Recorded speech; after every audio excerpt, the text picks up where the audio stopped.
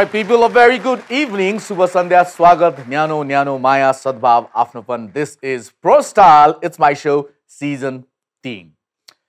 I hope and I pray म time and again irritatingly यहाँलाई म यो रिमाइन्ड दिन्छु र म दिनै राख्नेछु त्यसको लागि म क्षमा याचना पनि माग्न किन चाहन्न भने यो तपाईँको लागि नै हो आई होप साबुन पानीले हात धोइरहनु भएको छ एन्ड आई होप प्रपर तरिकाले मास्क लगाइरहनु भएको छ एन्ड आई होप त्यो सामाजिक दूरी कायम गरिरहनु भएको छ।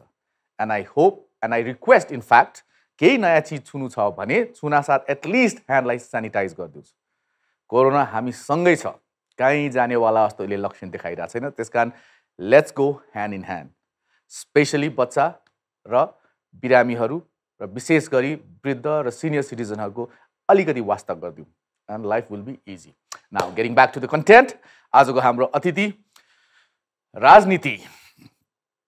धेरैलाई यो शब्दसँग घृणा हुन थालेको छ र उहाँहरूको आफआफ्नै कारण पनि होला। तर यो भनिरहँदा फेरि सबै त्यो खेलाडीहरू जुन यो राजनीतिको खेल खेलिरहनु भएको छ सबैले रफ गेम झेल्ली गेम र जसोतसो आफ्नो काम निकाल्ने गेम मात्रै छैन कोही फेयर प्लेयरहरू पनि छन् रे। त्यो रेमा सायद आजको अतिथि पनि पढ्नुहुन्छ कि?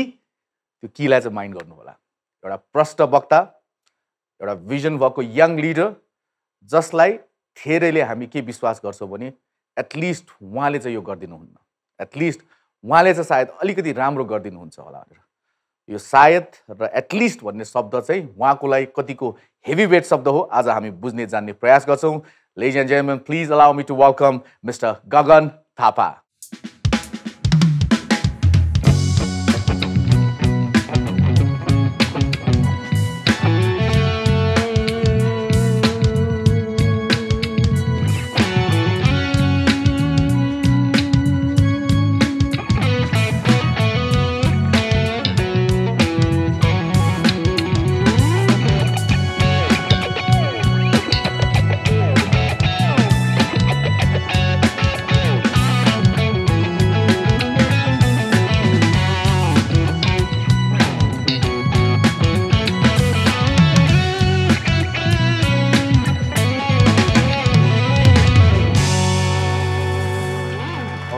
Gagan sir welcome to my show thank you सुरुमा एउटा कुरा भनिहाल्नु पऱ्यो। यो पुरानो साथीलाई सोभरि मैले सुरजजी सुरज सर भन्नु पऱ्यो भने एकदम म पनि एकदम धेरै औपचारिक हुन्छु। सुरजी? त्यही भएर म सुरज भन्छ है। हस्। हाउ आर यु ठिक छु अहिले। बेटर अँ अस्ति केही अब एक महिना जति करिब जस्तो घर बस्नु पऱ्यो। अहिले ठिक छु। घरै बसिरहेछ नि अहिले राजनीतिज्ञहरू त। त्यो नौलो कुरा हो र।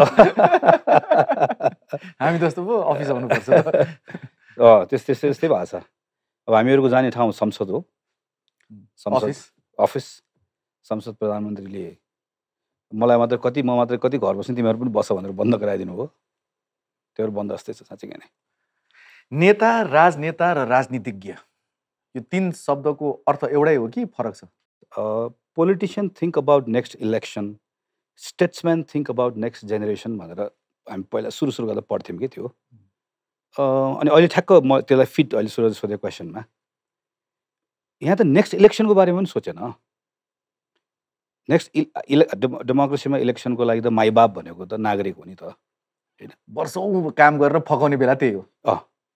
यहाँ त इलेक्सनकै बारेमा लोकल इलेक्टेड गभर्मेन्टदेखि लिएर माथिको गभर्मेन्टसम्म हेऱ्यो भनेदेखि भने आफूलाई इलेक्ट गरेको र भोलि पुनर्निर्वाचित हुने जुन चाहना छ त्यसकै बारेमा पनि सोचेको देखिएन। त्यो अर्को जेनेरेसनसम्म सोच्ने स्टेट्सम्यान त्यो त धेरै परको माथिको कुरा भयो होइन। त्यो पनि किन नसोचेको होला? मलाई लागिरहेको चाहिँ म पनि एउटा पोलिटिसियन भयो एउटा राजनीतिक दलसँग आबद्ध छु निर्वाचन लडेर आएको जनप्रतिनिधि हुँ। अब दुई वर्षपछि फेरि चुनाव आउँछ होइन? अनि त्यो जिम्मेवारी लिइरहेकोले चुनाव हामीहरूभन्दा पनि अझै बढी चुनाव जितेर नै सरकार बनाइराख्नु भएको छ। त्यो त्यसको बारेमा पनि किन नसोचिरहेको होला? अथवा हामीले जे जे जे कुरा सञ्चार माध्यमबाट वा बाहिरबाट मानिसहरूले भनिरहेको चाहिँ सबै कुराहरू यो प्रायोजित हो यो षड्यन्त्र हो यस्तो भएकै छैन भन्ने साँच्चीकै लागेको हो कि उहाँहरूलाई? छक्क परेको साँच्चीकै। छोरी दुईजना होइन यहाँको? हो। क्लासमा ओके इन्ट्रोडक्सन देऊ भन्ला। कसैको छोरी कसैको चाहिँ बाउ डक्टर होला उसले my father is a doctor भन्ला कसैले इन्जिनियर भन्ला कसैले सञ्चारकर्मी भन्ला कोहीले आर्मी पुलिस वा निजामती कर्मचारी सबै भन्ला बिजनेसम्यान भन्ला। कन्सरलाई के लाग्छ जब यहाँको छोरीले उठेर चाहिँ my father is a politician भन्दाखेरि चाहिँ त्यो साइडका अरू बच्चाहरूले र उसको पेरेन्ट्सहरूले चाहिँ त्यसलाई त्यो पेसालाई कसरी हेर्छ जस्तो लाग्छ? अहिलेको स्थितिमा। रियालिटी थाहा छ है के सोच्छ पोलिटिसियनको बारेमा थाहा छ। व्यक्तिगत कुरा त धेरै अनुभव गर्न पाएको छैन सानसानो छोरीहरू भएकोले। उनीहरूले सायद त्यस्तो अनुभव पनि गरेको छैन। अलि पछि गर्छ होला। तर मेरो श्रीमती पनि राजनीतिक कर्मीको छोरी भएकोले गर्दा उसको अनुभवहरू कहिलेकाहीँ राख्दै गर्दाखेरि म अनुमान लाउन सक्छु। पछि मेरो दिनहरू कस्तो हुन्छ भनेर। तर अब यो कुनै व्यक्तिगत कुरा मात्रै भएन। सुरजले सोधेको क्वेसनमा अब घरमा अरू अरू केटाकेटीको अभिभावकले सञ्चार माध्यम हेर्नुहुन्छ टेलिभिजन रेडियो पत्र पत्रिका गफ गफ think त। Five to seven years down the line यही स्थिति रह्यो भने गगनको छोरीले will she be proud of you मलाई म चाहिँ त्यसलाई यसरी राख्छु। म एकदम निराशावादी भएर हुँदैन होइन मैले चाहिँ त्यसलाई नै एम बनाएको छु। मैले आफ्नै मैले अघिल्लो पटक पनि सुरजको कार्यक्रम भनेको याद छ मलाई धेरै पुरा पहिला भए पनि। मैले आफूलाई एउटा समय सीमा बाँधेको छु। म यति वर्ष रिटायरमेन्टको लागि। सक्रिय रहन्छु भनेर। त्यो बेलासम्म मैले आफ्नै घरभित्र आफ्नो दुइटा छोरीको उमेर हेर्छु उनीहरू कुन कक्षामा पुगेको हुन्छ भनेर। त्यो दुइटा कुरा हो त्यो बेलामा मलाई मेरो लागि चाहिँ। तिनीहरूले मेरो छोरी भनेर भनिरहँदाखेरि उनीहरूलाई कस्तो लाग्ला? उनीहरूले त्यसलाई सेयर गर्न चाहला कि नचाहला? एक्ज्याक्टली होइन एउटा त्यो। अर्को चाहिँ त्यही बेलामा त्यो व्यक्तिगत कुरा मात्र भएन। नेपालको अवस्था चाहिँ अहिलेको भन्दा अबको दस बाह्र वर्ष पछाडि चाहिँ उनीहरूलाई त्यो बेलामा अब हामीहरूको कलेजको बेला सम्झौँ न। होइन हाम्रो साथीहरू सम्झौँ सुरजको मेरो हाम्रो त्यो बेलाको साथीहरू। त्यो त्यतिखेर उनीहरूलाई चाहिँ नेपालभित्र बस्ने नेपाल बाहिर जाने निर्णय आफआफ्नो भयो।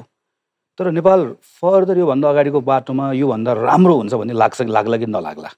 त्यो गर्ने आधारहरू हामीले बनाउन सके हुन्छ कि हुन्न होला? त्यही चेन्जको लागि यहाँ आगमन भयो होइन राजनीतिमा यहाँको कलेज त्यो चाहिँ मैले मैले भनेको चाहिँ सोच्ने नै त्यही कुरा हो। त्यो दुइटा कुरामा सफलता भयो एकछिनलाई मानौँ न। मेरो छोरीहरूलाई मेरो बारेमा मसँग जोडिँदाखेरि आफ्नो त आफ्नै बारेमा भन्ने हो मसँग जोडिँदै गर्दाखेरि उनीहरूलाई काहीँ पनि त्यो आफ्नो शिर निहुराउनु पर्ने अवस्था आएन भने र त्यो बेला त्यो उमेरको केटाकेटीहरूले होइन हाम्रो नेपाल योभन्दा राम्रो हुन्छ राम्रो हुँदै गइरहेको छ भन्ने अवस्था बन्यो भनेदेखि भने राजनीतिमा सक्रिय भएको कुरा ए अर्थपूर्ण भएछ सार्थक भएछ अब घुम्ने हो संसार। नेपाल घुम्ने हो। जाने हो श्रीमान श्रीमती मजाले आफ्नो अनुभव बाँड्ने हो मस्ती आफ्नो जिन्दगी बिताउने हो भन्नेतिर आनन्द लाग्छ। नभएदेखि चाहिँ त्यो बेलासम्म कतिपटक सांसद होला मन्त्री होला यो होला त्यो होला मलाई मैले चाहिँ यसरी गर्छु। त्यो बेलामा म आफूले आफूलाई पूर्ण रूपमा असफल भएँ र मेरो राजनीतिक सक्रियता चाहिँ त्यो सार्थक भएन भन्ने निष्कर्ष निकाल्छु म। यु स्योर अबाउट द्याट त्यसैले म म अहिले नै म हात उठाएको छैन। उठाउँदिनँ पनि। ए अबको दस वर्ष बाह्र पन्ध्र वर्षपछि बर्बादै हुन्छ। त्यसो अहिले छोडिदिए भइहाल्यो नि। अडचालिस सालमा चुनाव हुँदा मलाई अहिले पनि घर दैलोमा एउटा क्याम्पेन हुन्थ्यो नि त चुनाव। कङ्ग्रेस र त्यतिखेर तत्कालीन एमालेको चिन्ह चाहिँ सूर्य थियो। नेपाली कङ्ग्रेसको त रुखे भयो। के मलाई गुन्जिन्छ भने घामको तापबाट बस्न रुखको छारीमा आउनुहोस् भन्ने एउटा सोच या लाइन छ याद छ कि मलाई त्यो? सडचालिस अडचालिस सालको। अहिले त्यो रुख हेर्दाखेरि न पात देख्छु। हाँगा पनि टुक्रिँदै गएको छ। जो त्यसले आएर गुड पनि बनाइदिएको छ त्यहाँ होइन? अनि जरा पनि कता कता कमजोर देख्छु। त्यो रुख त्यत्तिकै इन्ट्याक्ट छ। अरू सबै कुरासँग सहमत। खालि के हो भने जरा छ। जरा भएकोले त्यसलाई अलिकति मलजल गऱ्यो उकेर लगायो ठिक ढङ्गले सम्हाल्यो भने त्यो फेरि त्यसले गुड त धेरैले बनाउन आयो नि यसो छ।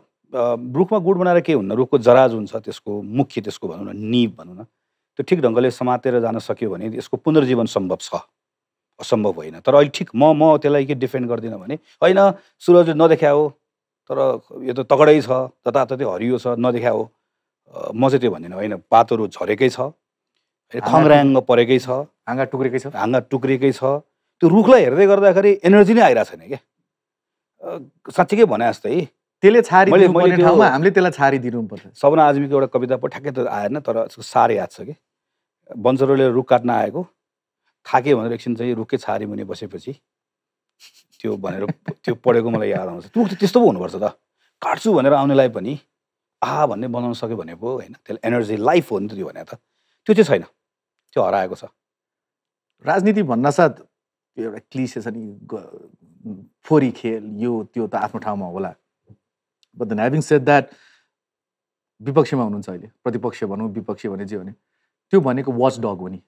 मैले जति पोलिटिक्स बुझेको छु जो सरकारमा छ अर्को चाहिँ अपोनेन्ट हुन्छ उसको काम भनेको सरकारले गरिरहेको कुरामा हामीलाई जनतालाई अवेर पनि गराउने हो। यो गलत भयो है भनेर वाच डगै हो। फ्रन्ट लाइनको वाच डग त विपक्ष नै हो नि।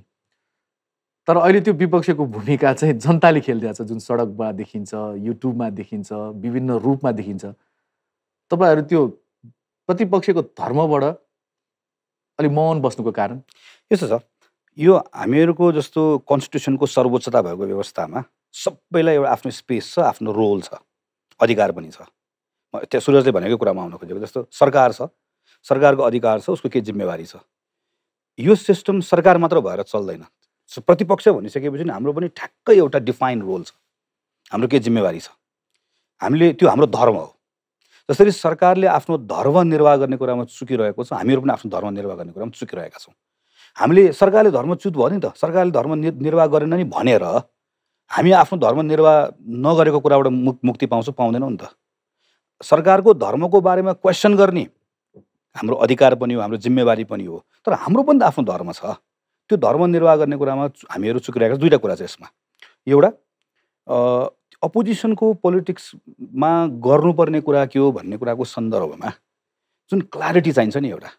अपोजिसन भनेको सरकारसँग लसपस गर्नु हुँदैन अघि अलग्गै देखिनुपर्छ। पिपलले जब सरकार भन्छ सरकारसँग शक्ति हुन्छ सामर्थ्य हुन्छ त्यो बेलामा हामीले बाहिरबाट बाहिरबाट हेर्दै गर्दा हामीलाई देख्दै गर्दा ए यो त सरकार होइन अलग हो यो चाहिँ हामी हामीसँग नजिक हो यो।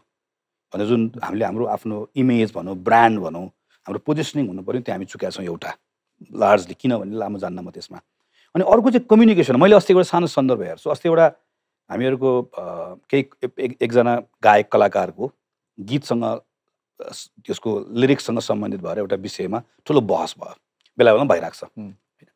अनि मैले पार्लियामेन्टको डिबेट हेर्छु।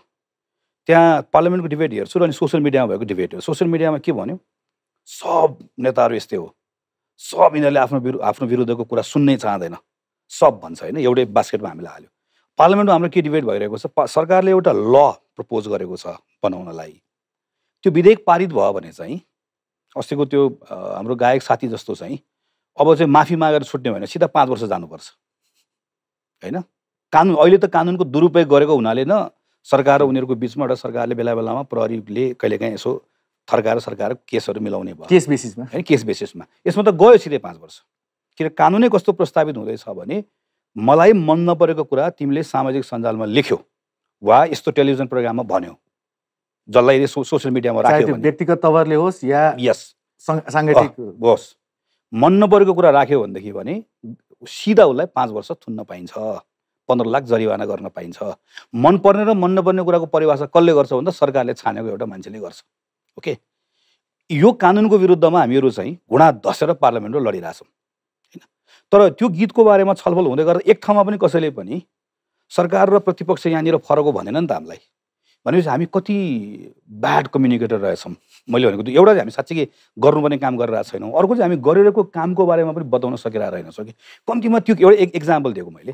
त्यस्तो केसेसमा त त्यस्तो त्यो छलफलमा भाग लिने मान्छे त दुईवटा किताबमा बाँडिएको बेलामा ए यो चाहिँ फ्रिडम अफ एक्सप्रेसनसँग जोडिएको कुरा हो। यो कुरामा चाहिँ यो दुईवटा पार्टीहरू चाहिँ अलग अलग धारणा छ उनीहरूको। सो इट्स यो चोइस कसो कसको पक्षमा उभिने। राइट टु एक्सप्रेस र छाडापनमा डिफ्रेन्सिएट हुँदैछ। त्यो हुँदैछ तर त्यो छाडापनको यसो भयो। त्यो छाडापन के हो र के होइन भन्ने परिभाषा चाहिँ एक्जिक्युटिभमा बसेको मानिसहरूले गरिसकेपछि त उसलाई उठाएको प्रत्येक प्रश्नलाई उसले छाडापन हो भनिदिन्छ नि। होइन? हामी त अहिले छ नि।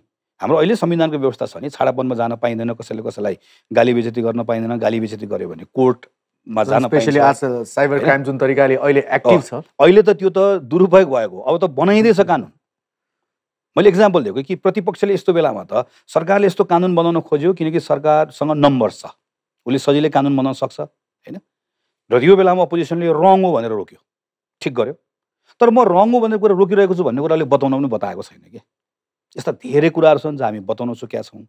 जसले गर्दा हामीलाई as a as an opposition हामीले गरेको रोल चित्तै बुझिरहेको छैन। कति कुरा गरिरहेका छौँ हामी चुकिरहेका छौँ काम गर्ने चुकिरहेका छौँ। केही महिना अगाडि सदनमा बोल्ने एउटा मात्रै व्यक्तिको मात्रै सोसियल मिडियादेखि लिएर भाइरल हुन्थ्यो त्यो तपाईँ। जुन तरिकाले प्रश्न प्रतिप्रश्नहरू चाहिँ हुन्थ्यो। नेपाली कङ्ग्रेस इक्वल्स टु गगन थापा जस्तो प्रवक्ता जस्तो रूपमा भूमिकामा हुनुहुन्थ्यो है तपाईँ त्यतिखेर। जुन तरिकाले आफ्नो अभिव्यक्तिहरू राख्नुभयो स्ट्रङली मैले अघि यहाँलाई चिनाउँदा पनि भने प्रष्ट वक्ता आफ्नो कुरा राख्न सक्ने। तर त्यो सबै राखिन्छ हुन्छ तर जब पब्लिकले रिलेट गर्न थाल्छ नि आफ्नो दैनिकीमा त्यहाँ चाहिँ केही चेन्ज आएन के गर्छ? यसो आफ्नो भूमिका गर्नुभयो होला बोल्नुभयो होला हिसाब किताब माग्नुभयो होला होइन इम्युनिटी प्रश्न प्रति प्रश्न पनि आयो होला बेसार पानीदेखि लिएर हिसाब खोइ गर्ने त्यो जुन आफ्नो धर्म गरिरहनु भयो। तर त्यहाँ प्रश्न सोधियो त्यसको सही उत्तर आओस् नआओस् गलत आओस् के हो त्यो त्यहीँ त्यहीँ सिद्धियो। पब्लिकलाई त त्यसले खासै म्याटर गर्छ यसरी भयो। हामी अघि अघिकै त्यही अगाडिको क्वेसनसँग जोडेर आउँछौँ। यो यो पार्लियामेन्ट डेमोक्रेसीमा चाहिँ एउटा सरकार भयो होइन? मलाई म अपोजिसन बेन्चको एउटा मेम्बर भएकोले मैले मेरो ड्युटी भनेकै क्वेसन गर्ने हो। मेरो ड्युटी भनेकै कमजोरी देखाउने क्वेसन। मात्रै? मेरो मेरो फन्डामेन्टल ड्युटी मेरो यतिखेर। किनकि डिसिजन गर्ने ठाउँमा त म छैन अहिले होइन? डिसिजन गर्ने ठाउँमा मलाई यस्तो भयो हाम्रो जिम्मेवारी नै कसरी बुझ्नु पऱ्यो भने जस्तो एउटा आज इक्जाम्पल दिन्छु। आज काठमाडौँको म पनि जनप्रतिनिधि हो काठमाडौँको मेयर पनि जनप्रतिनिधि हो होइन त? अझ उहाँ त एक्जिक्युटिभ हो। काठमाडौँको मेयरले काठमाडौँमा खाना बाँड्ने कुराले मेरो सहरको बेजत हो भनेर भन्नुभयो। होइन? खुला मञ्चमा खाना बाँडेर मेरो सहरको बेजत भयो भनेर भन्नुभयो। मैले चाहिँ कम्तीमा खाना बाँड्ने साथीले सहरको इज्जत राखिदिनु भयो भन्ने मेरो मेरो पोजिसन हो। किनभने कम्तीमा कोही त छ भोके मरेर ठाउँ ठाउँमा सब देख्नुभन्दा त मेरो राखिदिने। भन्नुभयो। अब उहाँले जबरजस्ती गर्नुभयो भने म सडकमा लड्न जान्छु होइन? तर त्यो निर्णयलाई गर्न दिने वा रोक्न दिने भन् गर्न दिने भन्ने कुराको निर्णय गर्ने अख्तियारी त कोसँग छ यहाँ? माथि प्रधानमन्त्रीसँग छ तल मेयरसँग छ। हामीले बनाएको सिस्टम हो नि त यो। त्यसले काहीँ म विरोध गर्ने मेरो ठाउँ हुन्छ काहीँ मेरो प्रश्न गर्ने ठाउँ हुन्छ। मेरो मैले पाएको जिम्मेवारी नै हो कि। अब यो सिस्टममा प्रश्न गर्ने र विरोध गर्ने कोही पनि भएन भने त के हुन्छ त? भन्दा यो सिस्टममा प्रश्न गर्ने विरोध प्रश्न गर्ने पनि छैन विरोध गर्ने पनि छैन भोलि अल्टरनेटिभ देखाउने पनि छैन भनेर भन्यो भने त यो त त्यो डेमोक्रेटिकल इलेक्टेड गभर्मेन्ट हुने कुराको अर्थै भएन। हामी सर्वसत्तावाद भन्छौँ नि। उसले मै हो सबै कुरा। एब्सोल्युटली मै हो भन्ने कुराले सोध्छ। यसरी नै यसलाई पूर्णता दिने हो हामीले। सो मलाई चाहिँ मैले चाहिँ मेरो आफ्नो अथवा म जुन पार्टीमा आबद्ध छु त्यो भएको ठाउँको मैले रोल चाहिँ मैले गरेको क्वेसनको कुराको एन्सर गरेन भनेर म त्यहाँनिर मेरो चित्त दुखाइ होइन मेरो क्वेसनको दमै पुगेन भन्ने कुरामा हो कि? क्वेसन भनेको त सुरजले भनेको कुरासँग मैले उ गरे होइन फेरि मेरो भनेको म आफूलाई प्रतिनिधि भनौँ। म अपोजिसनको बेन्चबाट क्वेसन सुनेपछि थरथर हुनु पऱ्यो नि। यसो क्वेसनबाट भाग्न पाइँदैन किनकि यो भनेको पचास साठीजना संसदभित्र बसेको मान्छे हो र यो भनेको त करोडौँ जनताको प्रतिनिधि हो। यहाँबाट भाग्यो भने त मलाई अप्ठ्यारो पर्छ भन्ने पो हामीले बनाउन सक्नु पऱ्यो। Exactly. त्यसले हामीले सोध्यौँ हामीले सोधेको कुराहरूबाट चाहिँ हामीले त्यसको त्यो जुन त्यहाँभित्र दम हुनुपर्ने हो नि त्यो दम हामीले अझै पुऱ्याउन सकिरहेको छैन प्रश्नमा जति दम भए पनि उत्तरमा दम नभए तापनि तपाईँ ओके। बाध्यता मैले भने मैले जस्तो त्यो त्यो होइन। हामीहरू अघि अघि जुन अडचालिस सालको सुरजले पुरानो कुरा सम्झेको जस्तै त्यो बेलामा हामीहरू भर्खर स्कुलबाट. हुने बेलामा नयाँ चेन्ज भएको बेलामा हामीहरू यो एजमा हुँदै गर्दा यस्तो नेपाल होला भन्ने हाम्रो छँदै थिएन। हाम्रो अर्कै भइसक्यो हुन्छ भन्ने थियो। हाम्रो एउटा जेनेरेसन यसै गयो। मलाई प्रधानमन्त्री केपी शर्मा ओली आइसके पछाडि अब सबै कुरा सक्यो यत्रो लामो ट्रान्जेक्सन सक्यो अब कस्तो मजाले काम गर्न पाउनु भएको छ उहाँले? चार पाँच वर्ष उहाँले गजबसँग काम गर्नुहुन्छ होइन? एउटा लेभलमा देश पुग्छ। अर्को चुनावमा त उहाँलाई हराउने नै हो। तर कसरी हराउने हो भने उहाँले तानेको लाइनभन्दा लामो लाइन तान्छु भनेर पिपललाई विश्वास दिएर योभन्दा राम्रो गर्छु भनेर जाने हो। मलाई मलाई त्यो लागिरहेको अब त झन् सहज भयो। तपाईँहरूलाई त त्यति लामो लाइन तान्नु पनि पर्दैन। मलाई एउटा एउटा त्यो लागेको थियो। एउटा चाहिँ अनि त्यसले गर्दा एकदम दिगदारी केमा लाग्छ भने पोलिटिसियन भन्दा पहिला म नेपाली सिटिजन हो नि। अघि पनि सुरुमा हामीले कुराकानी गरौँ पाँच वर्ष खेर गयो हाम्रो। पाँच वर्ष भनेको समय मात्र होइन विश्वास पनि हो। यति यति धेरै मान्छेको विश्वास मऱ्यो नि अहिले। सपना मऱ्यो। एउटा यसले दिगदारी लाग्छ मलाई एउटा। अनि अर्को चाहिँ त्यो डेमोक्रेटिकली इलेक्टेड गभर्मेन्ट चाहिँ यस्तोसम्म असंवेदनशील हुनसक्छ पिपुलको विषयमा भन्ने कुरा देखेर चाहिँ म त्यो के भन्छ त्यसलाई अब आक्रोशित अचम्बित सबै कुरा के? हो कि एउटा नागरिक नागरिक सुरज र मैले जस्तो यसरी हेरौँ न अहिलेकै महामारीको बेलामा प्रत्येक दिन म एउटा सांसद छु काठमाडौँको यहाँको मेरो निर्वाचन क्षेत्र छ स्वास्थ्य मन्त्री भएर काम गरेँ त्यो कारणले पनि होला अरू पनि कारणले। प्रत्येक दिन जसो चाहिँ दसजना पन्ध्रजना मान्छेको त्यो वेदना कहिले त्यसलाई सुनेर कहिले एक्लै रुन्छु होइन? मान्छे हो नि? त्यो त्यो आफै हेल्पलेस हुन्छ मद्दत गर्न सकिन्न। यस- यस्तो त्यो यस्तो लाग्छ। अनि त्यो बेलामा चाहिँ गभर्मेन्टमा जिम्मेवारीमा बसेको मानिसहरूले त्यो गर्दा गर्दै नसकेको भए प्रयास गर्दा गर्दै नपुगेको भए नभएको भए कम्ती त्यो सिस्टमभित्र काम गरेकोले मलाई अप्ठ्यारोहरू म बुझ्छु नि। त्यो बेलामा चाहिँ होइन कोसिस त गरिराख्नु भएको हो तर सकिराख्नु भएको छैन भन्ने कुराले मलाई चित्त बुझाउँथेँ कि म। सुरुमा त्यही भएर मरेर हम्फालेर गएको पनि हो। तर यस्तो त मैले त्यो पिपुलबाट इलेक्टेड भएको मान्छे यस्तो इन्सेन्सिटिभ कसरी हुनसक्छ? इन्सेन्सिटिभ कसरी हुनसक्छ?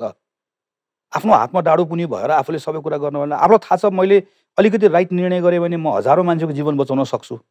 मेरो निर्णय तलमाथि गलत भयो भनेदेखि हजारौँ जीवन मेरो कारणले गर्दा बर्बाद हुन्छ थाहा पाउँदै गर्दाखेरि यत्रो वर्ष पिपुलको पोलिटिक्स गरेर आएको मान्छेलाई कस्तो त्यो नपोलेको होला नछोएको होला राति कसरी निन्द्रा लागिरह होला? To cut it short so यहाँको विचारमा भिजन नपुग्यो कि सिपै नभए?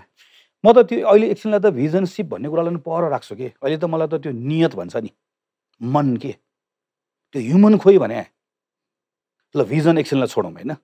सिप पनि गर्दा गर्दै भएन। हामी संसारभरि देखिरहेछौँ संसारभरिको म यसलाई क्लोजली फलो गरेर आएर ठुलो देश सानो देश सफल असफल म सम्भव भएसम्म यसको पढ्ने रुचिपूर्वक कहाँ कसले के गरेर हेरिरहेको छु।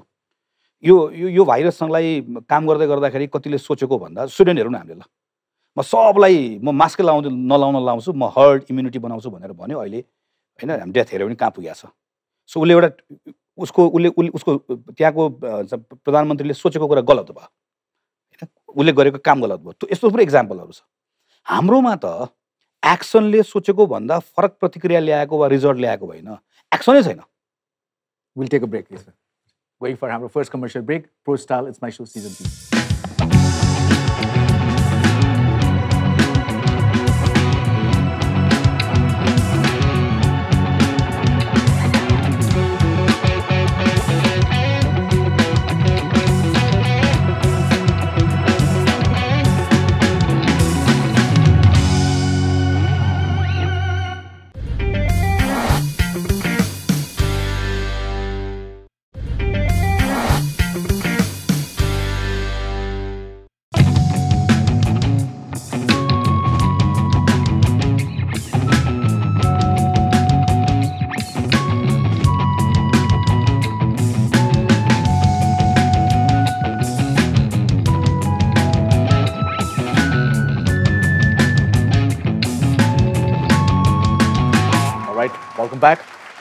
sir पोलिटिक्समा इफ्स एन्ड बर्थ धेरै हुन्छ है। अर्थात् यदि म भइदिए भए। यो हुन्थ्यो तर म छैन। यदि र तर भन्ने शब्द हरेक पेसामा हुन्छ यस्तो पोलिटिक्समा नै यस्तो यस्तो हुन्छ नि सुरज। यसमा जस्तो अहिले म पार्टीको जिम्मेवारीको हिसाबले हामीलाई अब सारो मिनिस्टर भनेर भन्यौँ त्यसलाई जस्तो म मैले एजुकेसन अहिले मैले हेर्छु पार्टीभित्र। गएको तिन यो पाँच छ महिनामा मैले दुईचोटि शिक्षा मन्त्रीजीलाई फर्स्टमा चाहिँ जतिखेर स्कुलहरू बन्द भयो त्यो बेलामा यो भर्चुअल क्लासेसहरू कसरी चलाउने भन्ने छलफल भइरहेको बेलामा पन्ध्र बिस दिन एक महिना पढेर छलफल गरेर आफ्नो आइडिया सबै लगाएर ठुलो अठार बिस पेजको एउटा पत्र बनाएर लिएर गएर उहाँसँग दिएँ। अस्ति भर्खर फेरि चाहिँ अब इक्जामहरू कसरी गर्ने भनेर दिएँ। त्यो भनेको के हो भने यो भएन यो भएन भनेर पार्लियामेन्टमा बोली पनि रहेँ। तर यस्तो गर्न सकिन्छ भनेर भनेको चाहिँ म भएको भए यस्तो गर्थेँ भनेर भनेको चाहिँ यो सिस्टमको पार्टी हो यो। अफकोर्स यो पार्ट अफ द? सिस्टम तपाईँले अहिले विपक्षमा छ भन्दैमा होइन पहिला बिग्रिँदै अनि म म छिर्छु भन्नु त कदापि मिल्दै मिल्दैन नि त्यो कुरा त। त्यो मात्र होइन। मैले भने कस्तो भन्थ्यो भने पिपुलले उहाँलाई इलेक्ट गर्यो मलाई अपोजिसनमा राख्यो। म भएको भए यो गर्थेँ भन्ने कुराले अल्टरनेटिभ देखाउने पनि हो. होइन विकल्प देखाउने पनि हो। त्यो भनेको चाहिँ हामी त गभर्मेन्ट इन वेटिङ पनि हो नि। कुनै पनि बेलामा यदि सरकारमा जाने मौका पायो भने अहिले भयो भनेदेखि भने वा भोलि कुनै बेला भयो भनेदेखि भने यो एक प्रकारले चाहिँ मैले सोचेको कुरा पनि त हो नि। अब बाहिरतिर हामी पनि अकाउन्टेबल बनाउनु पर्ने यसरी हो खास. अब अहिले अहिले यतिखेर सुरज उठाएको त महत्त्वपूर्ण कुरा अहिले यतिखेर त अपोजिसनमा भएकोले म भयो भए यो गर्थेँ म भयो यो गर्थेँ भनेर भनेको बेलामा भोलि हिजो म भएको भए यो गर्तिस् भन्ने भने हो कि भनेर वान टू थ्री भनेर मलाई घाँटी न्याक्नु पर्ने त्यहाँ समातेर हो नि त खास। होइन हामीले। मैले खास प्रधानमन्त्रीजीलाई फर्स्ट पार्लियामेन्टमा मैले उहाँलाई त्यही कुरासँग समातेर भन्ने एउटा प्रयास गरेको थिएँ कि जतिखेर उहाँलाई हामी भोट अफ थ्याङ्क्स दिइरहेका थियौँ। तपाईँलाई पाँच वर्ष चलाउनु तपाईँलाई शुभेच्छा छ तर तपाईँलाई चाहिँ म पाँच वर्ष चाहिँ लखट्ने भयो के हेरेर लखट्ने हो भने तपाईँले गरेको प्रमिस हेरेर। तपाईँले जुन प्रमिस गर्नुभएको छ घोषणापत्रबाट वा हिजो वेन युआर इन अपोजिसन तपाईँले भन्नुभएको कुरा छ त्यसलाई समातेर तपाईँलाई पाँच वर्षसम्म तपाईँको ढोका नक गरे गर्छ। पार्टीलाई पनि त लखटे आउने यही कुराले होइन? हो। सब यो यो सिस्टमको यसको ब्युटीकै हो भनेर हेऱ्यो भने त यही हो नि त फेरि। यहाँ तपाईँ बोलेर भाग्न पाउँदैन। You have to be accountable होइन? मुख्य कुरा त यो हो नि। ओके सो फेरि इफ एन्ड बटमा कुरा गरौँ। If you were the health minister जुन यहाँले चाहिँ एउटा अप्पर ह्यान्ड यहाँलाई के छ नि? यहाँले सम्हालिसके हो। राम्रो कार्य पनि भएको थियो। So if you were the health minister of the government of Nepal अहिलेको लागि three major steps that you would take लकडाउनको आग अगाडि लेट्स हामी let's go back to March मार्चमा तपाईँ स्वास्थ्य मन्त्री भइदिए आज हामी अक्टोबरमा छौँ नोभेम्बरमा छौँ। के हुन्थ्यो होला त? के गर्नुहुन्थ्यो होला? Three major changes or step that you would take सबभन्दा पहिला त म यो साइन्स एभिडेन्स यसको आधारमा मात्रै हाम्रो पोलिसीहरू बन्नुपर्छ र यो वान टाइम होइन नि यो त।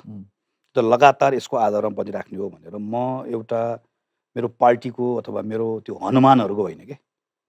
हनुमान फेरि त्यो पनि राइट वर्ड नहोला। भक्तहरू। भक्तहरूको नभइकन म यो बेलामा पढेर आएको मान्छेहरू मैले सुरजकै सोमा हेरिसकेँ होइन यति धेरै पब्लिक इन्टेलेक्चुअल्सहरू छ जस्तै यतिखेर आफूले जानेको कुरा गभर्मेन्टलाई मद्दत गर्न खोज्नु भएको छ। त्यसमध्येबाट छानिएको साथीहरूको एउटा टिम मसँग राख्थेँ र निरन्तर रूपमा मैले च्यालेन्ज पनि गर्थेँ तर म त्यो एउटा एक्सपर्टको एडभाइसबाट मात्रै एउटा टास्क फोर्स बनाएर त्यो टास्क फोर्स अहिले पनि बनाएको थियो यस्तो खालको टास्क फोर्स भएन। एक्सपर्टिज त्यो त्यो एभिडेन्समा बेस्ड भएको एक्सपर्टिज नै मेरो डिसिजन्सहरूलाई मलाई गाइड गर्ने कुरा हुन्थ्यो। वान वान डन है एउटा यो। सेकेन्ड मैले सबै कुरालाई सिस्टमको एप्रोचबाट हेर्थेँ। सिस्टमको एप्रोचबाट हेर्ने भनेको चाहिँ मैले आज एउटा डिसिजन गर्छु म टेस्ट यसो गर्छु भनेर। बुधबार अर्को डिसिजन गर्छु यसो गर्छु भनेर।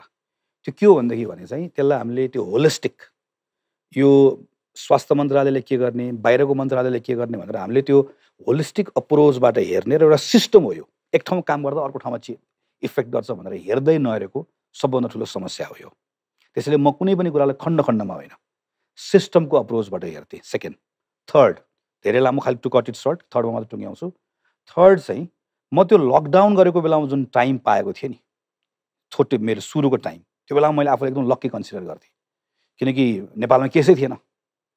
फोर मन्थ त वी डेड म त्यत्रो फोर मन्थ त जाँदै जान्न थिएँ होइन? सुरुको त्यो एक महिनाको समय नै त्यो एक महिनाको समयभित्रमै चैतको एक महिनाको समयले नै वैशाखमा के हुन्छ जेठमा असारमा साउनमा भदौमा के हुन्छ भन्ने कुराको अनुमान लगाएर त्योसँग जुझ्ने सबै तयारी म पहिले गरिसक्थेँ जुन कुरा मजाले गर्न सकिन्थ्यो।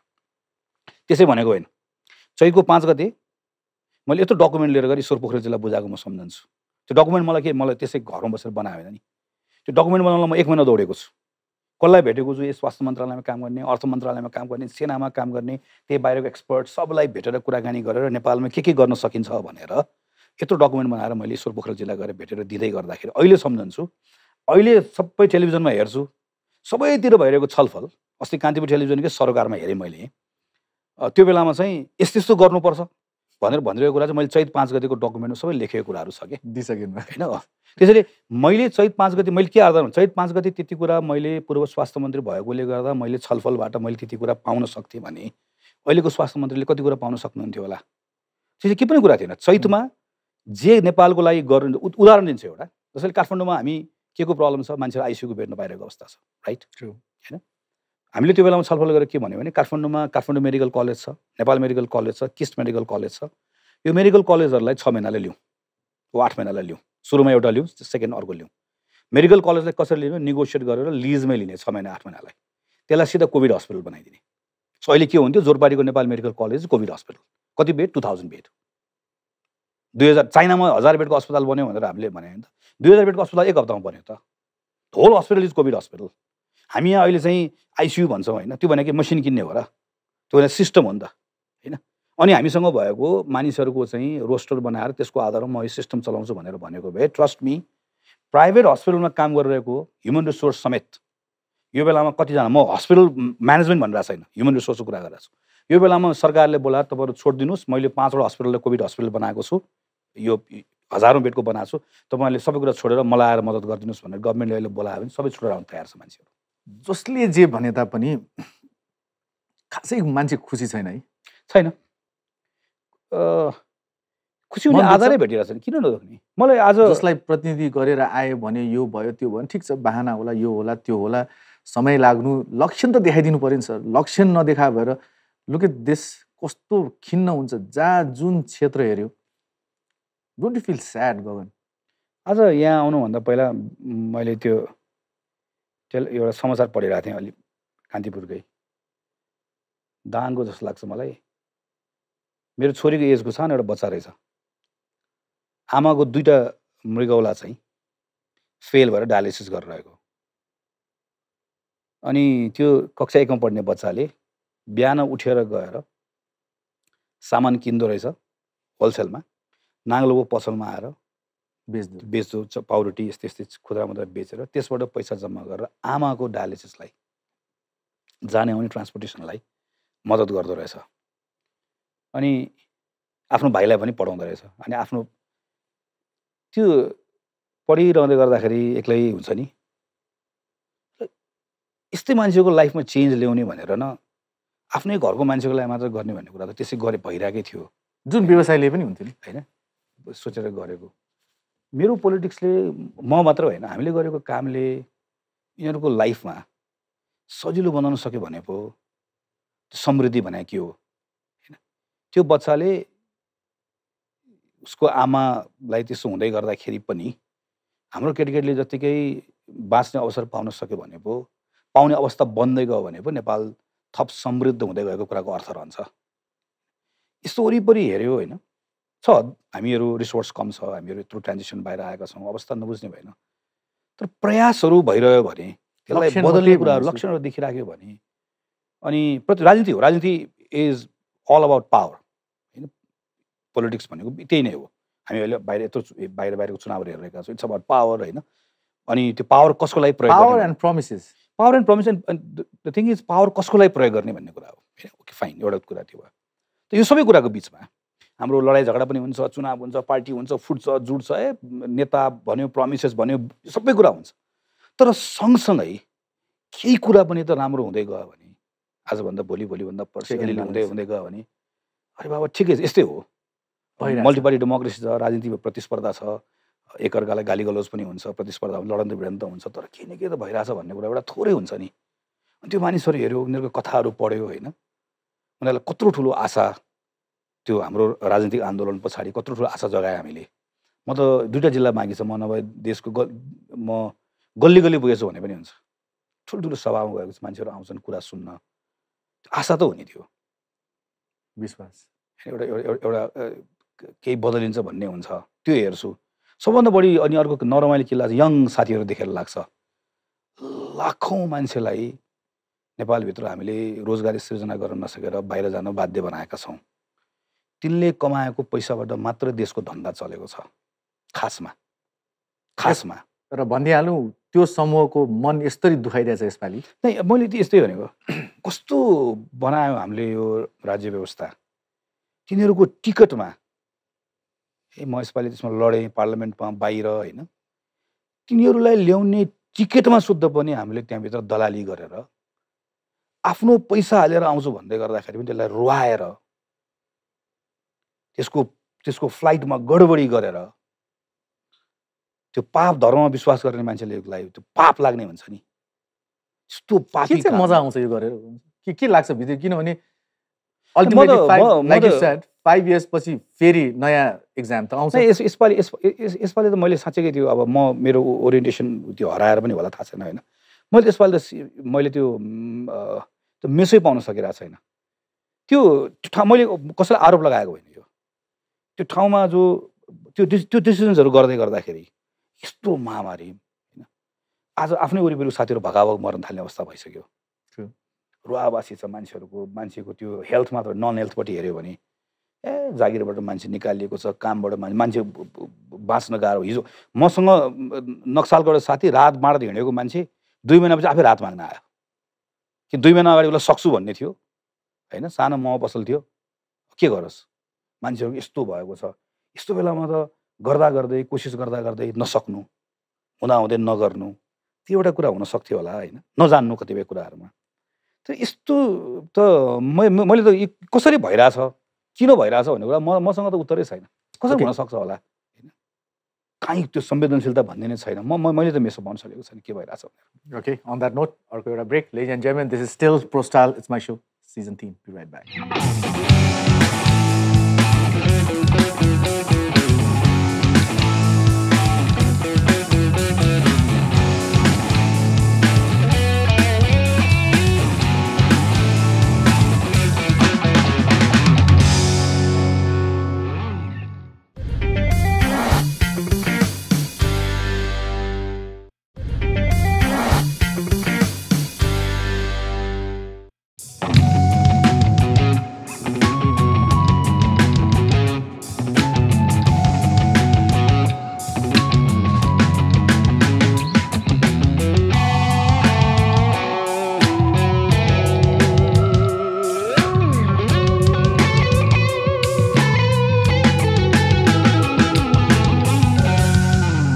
All right, welcome back.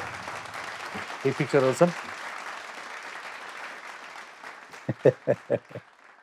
मापदण्ड यही हो है हाम्रो राजनीतिज्ञहरूको कतिचोटि कति पटक के के को लागि भित्र जानुभयो त्यो क्वालिफिकेसन के एजुकेसन भन्दा पनि त्यो When was this? यो साठी सालको जस्तो लाग्छ मलाई त्यो राजुरोको मुद्दाको बेलामा बयान दिएर आउँदै वा बयान दिन जाँदै गर्दाखेरिको हो यो। त्यो बेलाको हो यो। How important is education in politics? एकदमै धेरै छ भन्ने लाग्छ।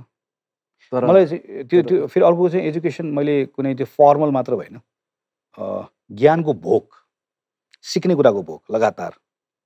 वा जुन तरिकाले संसार अगाडि बढिरहेछ ग्लोबल वर्ल्डमा आफ्नो देशलाई प्रतिनिधि गर्दा पनि त्यो क्वालिफिकेसनले काहीँ न काहीँ त म्याटर गर्छ नि। त्यही भने सिक्ने भोक हुँदै गयो भने मसँग आज जे छैन म त्यसलाई आर्जन गर्दै जान्छु होइन? नभए चाहिँ कुनै एउटा फर्मल केही केही कुराहरूको मेरो चाहिँ मसँग एकाडेमिक रेकर्ड छ त्यसको आधारमा भन्यो त्यो त बन्द भइहाल्छ नि। सो अशिक्षित दिमागले नयाँ खोज्दैन जे छ त्यसमै चित्त बुझाउँछ। शिक्षित दिमागले भोक धेरै हुन्छ नयाँ कुरा खोज्छ। अथवा जसले भोक मऱ्यो म सन्तुष्ट भन्छ नि त्यो मेरो लागि चाहिँ त्यो थप शिक्षित हुनुको कुनै अर्थ रहेन कि। हाम्रो सन्दर्भमा चाहिँ तृप्त छ क्या धेरै हामीहरू।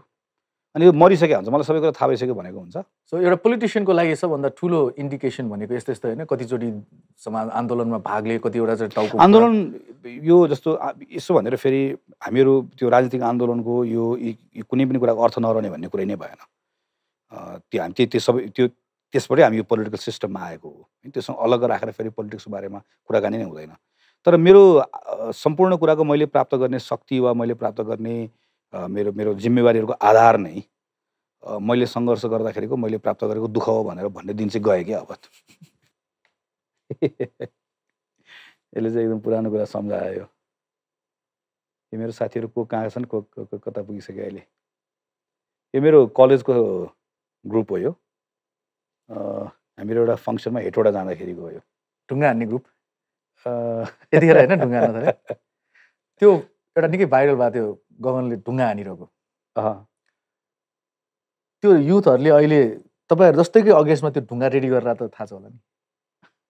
म मैले अवेर हुनुहुन्छ त्यो कुराबाट? बच्छु मजाले छु जुन रिस आक्रोश त्यतिखेरको सिस्टमसँग यहाँले पोख्नु भएको थियो because you were not satisfied यहाँको भोक यति धेरै थियो कि उनीहरूले डेलिभर गर्न सकेका थिएन।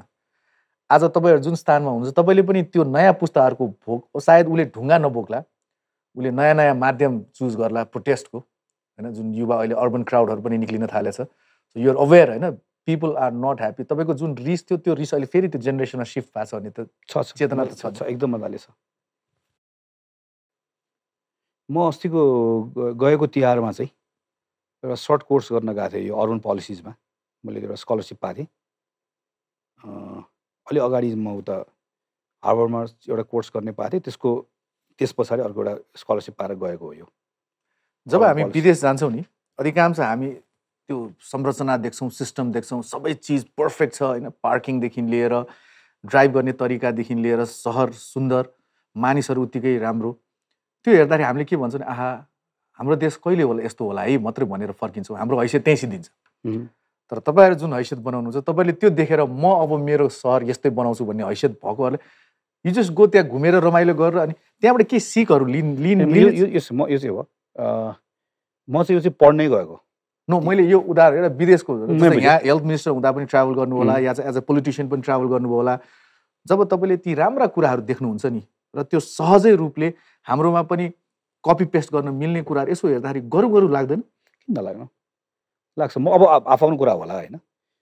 म मेरो म अघि भनेको भोक जुन भन्छ नि म टु थाउजन्डमा पहिलोचोटि बाहिर कलेजको स्टुडेन्ट हुँदाखेरि नै मैले जर्मनी जाने मौका पाएँ। त्यो बेलादेखि लगातार त्यो बेला टु थाउजन्डमा ग जाँदाखेरिदेखिको त्यो सधैँभरि प्रत्येकचोटिको भ्रमणले नयाँ कुरा पनि सिकेँ। मलाई त्यो मेरो थप भोक मैले मेरो त्यसले जगाएको छ। मैले चाहिँ आफू बाहिर जाने यसरी जाने भ्रमणहरू सबै कुराहरूमा चाहिँ दुइटा नयाँ कुरा सिक्ने। नेपाल म नेपालसँग रिलेट गरेर राख्छु। कहाँनिर के गर्न सकिन्छ होला के गर्न सकिन्छ होला भनेर। त्यही कुराले लिएर गएको। तिहारको बेलामा बिदा पनि छ। ठिक छ। अहिले त्यो। पोजिसनमा तपाईँ स्कोर गर्ने पोजिसनमा हुनुहुन्न होला बेन्चमा बसिरहनु होला तर इन्जुरी भएपछि तपाईँ गइसकेपछि you're confident enough that you can win the yes yes म किन म त छोटो समय मैले काम गर्ने मौका पनि पाएँ। काम गर्ने मौका पाएको बेलामा त्यतिखेरको आफूले काम गर्दाखेरि अनुभवको आधारमा पनि भन्न सक्छु।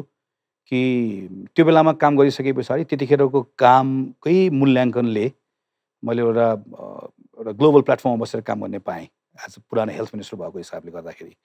सो त्यतिखेरको त्यो छोटो समयमा पनि यसरी बाहिर जाने हेर्ने ओर्ने कुराहरूलेबाट चाहिँ तपाईँले अघि भने जस्तै सुरजले भने जस्तै गएर यसरी दङ्ग परेर बस्ने वा एकछिन रमाइलो गर्ने वा यिनीहरूले कसरी गरेछ हामी कहाँ कसरी रिलेट गर्न सकिन्छ भन्ने कुरा चाहिँ त्यो बेलामा पनि मैले खोजिरहेँ जुन कुराले केही कुरा रिजल्ट पनि आयो जुन कुराको त्यसबाट एक्नोलेज पनि भयो। सक्छु भन्ने छ। यो यो यो यो फोटो एकदम रमाइलो रमाइलो भन्दा पनि यस्तो एउटा संयोग छ।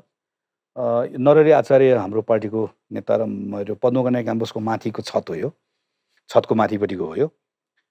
यसको केही दिन अगाडि तत्कालीन नेता हाम्रो गिरिजा प्रसाद कोइरालाले हामीहरू दुईजनालाई चाहिँ यिनीहरू दरबारका एजेन्ट हुन् भनेर। होइन यो त यो एजेन्ट हुन् भनेर हामीलाई भनिदिइसके पछाडि उहाँ र मेरो भेटै भएको थिएन।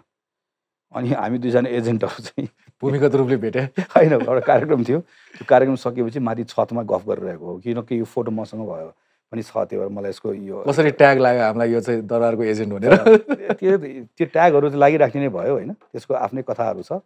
तर त्यो त्यो चाहिँ त्यो घटना पछिको हो यो ठ्याक्कै। मेरो बुवा आमा मेरो कान्छो बुवा अन्जना मेरो दुइटा छोरीहरू। दसैँ। हामी सबैजना यो भर्खर पोजिटिभ बाट नेगेटिभ भयो कि यो भएपछिको हाम्रो घरमा यदि बसेर। सिन्स युआर हियर अन्त्यमा यो म प्रश्न चाहिँ एउटा नागरिकलाई पनि हो एउटा श्रीमानलाई पनि हो र दुई अमेजिङ एन्जल छोरीहरूको पिताको लागि पनि हो र साथै एउटा यस्तो पार्टीको जसले चाहिँ विगतमा धेरै कन्ट्रिब्युट पनि गरेको छ त्रुटि कमी कमजोरी सबै होला। सबै मिश्रित तपाईँको डेजिग्नेसनलाई चाहिँ म एकै ठाउँमा एउटा प्रश्न गर्छु कि? हामी कहिले खुसी हुने अब? त्यो खुसीको परिभाषा जसरी लिनुहोस्। आर्थिक सामाजिक राजनीतिक विकास समृद्धि free health free education free insurance freedom to express सबैलाई समेटेर त्यो खुसी भन्ने शब्दलाई म जोड्दैछु। सो हामी कहिले खुसी हुने? यस्तो छ यो यसलाई एउटा प्रोसेसको रूपमै लिनुपर्छ फेरि?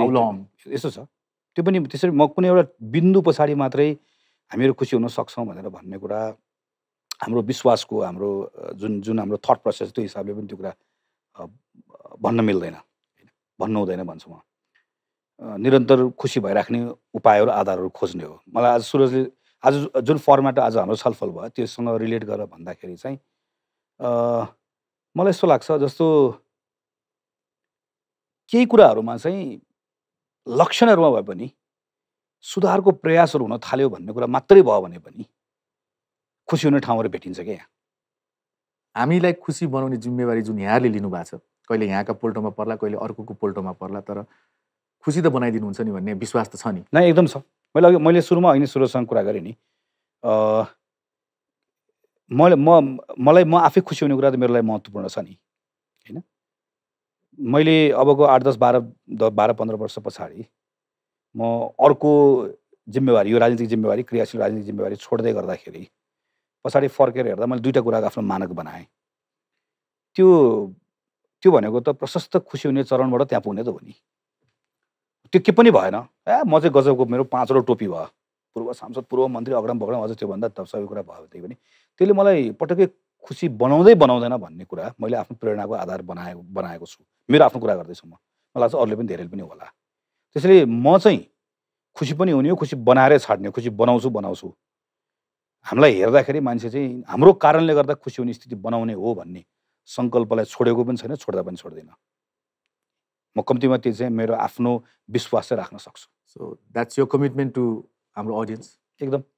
मेरो नभए चाहिँ म आफ्नो राजनीतिक जीवन चाहिँ निरर्थक भयो। खेर गयो भन्ने ठान्छु म। एन्ड त्यो दिन नआओस्। I know you have the potential सायद केही कुराले अड्काइरहेछ होला। त्यो चाँडै खुकुलो हुँदै जाओस्। त्यो गाँठोहरू फुस्किँदै जाओस्। र जुन तरिकाले यहाँको नेतृत्वमा एक दुईवटा इन्सिडेन्टहरू हामीले देख्यौँ जुनले फड्को मारेको छ सेक्टर जुन स्पेसली यहाँ हेल्थ मिनिस्टर हुँदाखेरि। त्यो आगामी दिन अझ बलियो होस्। यही शुभकामना। Thank sure, you. So thank much. you. Thank, you. Thank you very much.